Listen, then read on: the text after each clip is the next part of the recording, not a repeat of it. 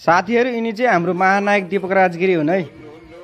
छ्या कति नसुहाएको यार। लास्टै घिन्ला। आफूलाई महानायक भनेर जिस्काउने सबैलाई दीपक राज गिरीले दिए कडा जवाफ।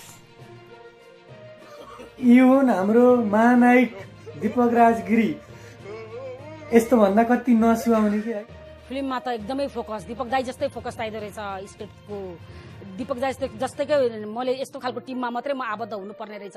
माग्ने बुढाकै अभिव्यक्ति। त्यही प्रमाण हुनुहुन्छ नि त राजेशजी जिउँदो। हुनुहुन्छ र हुनुहुन्छ र।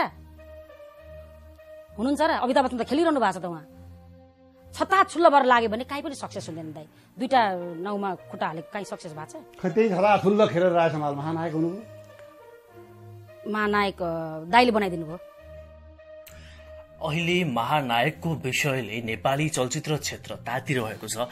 केही समय अघि एक अन्तर्वार्ता दिने क्रममा दिपाश्री निरुलाले राजेश हमाललाई महानायक नमान्दा अहिले उनको आलोचना भइरहेको छ र यसै बीच दिपाश्री निरुलालाई सपोर्ट गर्दै दीपक राज गिरीले एक फेसबुक स्ट्याटस लेखेपछि दीपक राज गिरीको पनि आलोचना भइरहेको छ।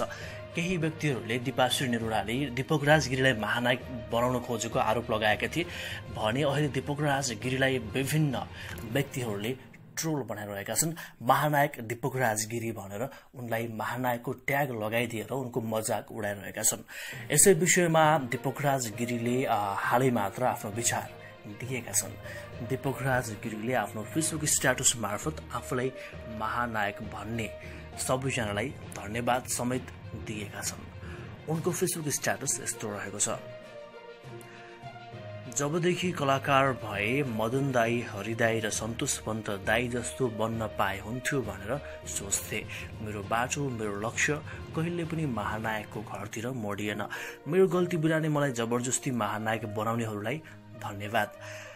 अब जब असत्य चिच्चाइ चिच्चाइ बोलेर भिड जन्मा गरिरहेको हुन्छ सत्यले चुपचाप आफ्नो बाटो हिँड्नु राम्रो हुन्छ भनेर दीपक राज गिरीले आफ्नो विचारहरू फेसबुक स्ट्याटस मार्फत प्रस्तुत गरेका छन्। तपाईँलाई दीपक राज गिरीको यो विचार कस्तो लाग्यो? आफ्नो कमेन्ट बक्समा लेख्न नबिर्सनुहोला।